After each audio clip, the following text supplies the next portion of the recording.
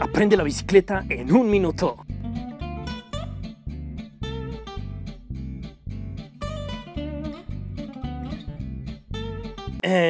Ok, no. Este es el movimiento, regate, skill, drible, que todos, pero absolutamente todos, de los mejores futbolistas hacen. Neymar, Ronaldo, el verdadero Ronaldo, Ronaldinho, F2, Guido, delantero 09, Cheymar, Andretti, Titanes, este, los Titanes. Y tal vez todos ustedes se preguntarán, ¿cómo es posible?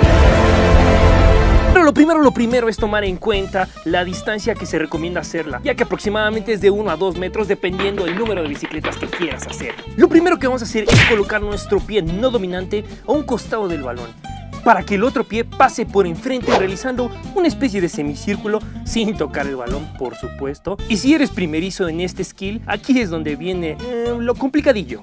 ¡Tengo miedo! Porque vamos a tener que replicar el movimiento del semicírculo, o sea, la otra bicicleta, pero con la pierna no dominante, así es, la de palo, la que solo utilizas para subirte al camión. Y lo peor de todo es que la tienes que hacer igual de bien que tu pierna dominante, si es que quieres que se la crea. Y listo, Ahora ya que hiciste tus dos bicicletas ya habrás confundido totalmente al rival y lo único que tienes que hacer es salir a máxima velocidad con tu pierna dominante. Ahora bien, que si tú quieres meter un mayor número de bicicletas y o combinaciones explosivas, ya depende de tu creatividad y que no te vayas de hocico.